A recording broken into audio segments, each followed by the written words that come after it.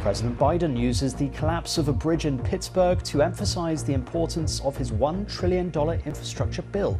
A bridge in the US city of Pittsburgh has collapsed hours before a visit to the area by President Biden to tout the investment his administration is making in America's infrastructure. Six vehicles, including a bus, were on the bridge at the time, but no deaths have been reported. Here's our North America correspondent Peter Bowes. It took just seconds for the snow covered Forbes Avenue Bridge to collapse early on Friday morning.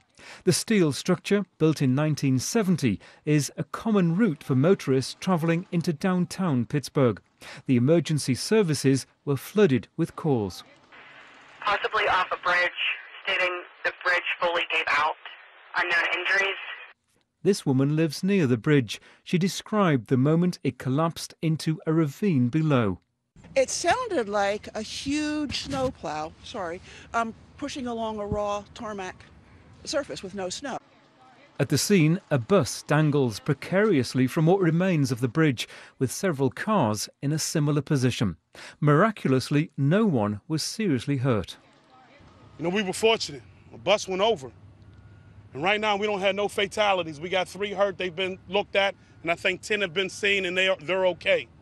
Um, so we're just going to continue to hope for the best and make sure that we get this under, um, get this together. The collapse happened just hours before President Biden was due in the area to talk about infrastructure. He went straight to the bridge to thank first responders and make a promise. We're going to we're going to fix them all. Not a joke. This is going to be a gigantic change. In November, Mr. Biden signed legislation into law that includes $110 billion to repair and rebuild roads and bridges. In his pre planned speech later in the day, the president, who grew up in Pennsylvania, said the bridge collapse highlighted an urgent need to improve the country's infrastructure. All these years, I never knew, I never knew Pennsylvania, Pittsburgh, Pennsylvania, had more bridges than any other city in the world. Yo! But across the country, there are 45,000 bridges in poor condition. It's just, it's just simply unacceptable. It isn't known yet why this bridge collapsed so suddenly. It had been inspected as recently as September, but a report in 2019 revealed its condition was deteriorating.